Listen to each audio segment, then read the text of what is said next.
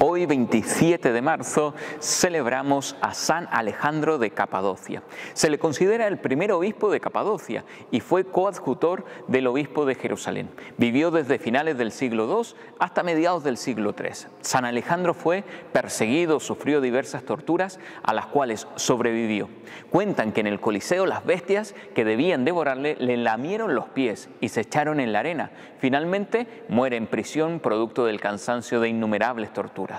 Ojalá podríamos decir que los problemas que nos torturan se comportaran como esas bestias de San Alejandro que en vez de atacarle le lamieron los pies. Muchas veces nos sentimos profundamente atacados y nos terminamos desgastando, pero que en medio de las dificultades recuerda siempre, no estás solo, no hay luchas solo, Dios está contigo.